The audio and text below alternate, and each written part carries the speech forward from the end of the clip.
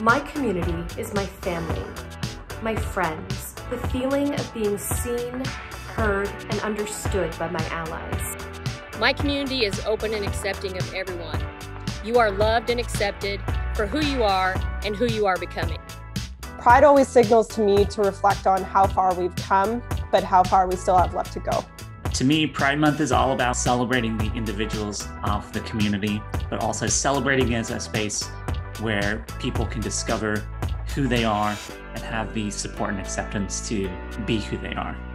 Pride means that everyone deserves the same rights and respect, regardless of who we choose to love or how we choose to love. I remember that way back when there was a riot for people to be able to see themselves in the world, to find others like themselves, and to be comfortable and joyful in their own skin. And every day since then, it continues to be a radical act of rebellion to be that way, to be able to exist, be in the world, be comfortable with it, in spite of everything. And that, I think, is a magical thing.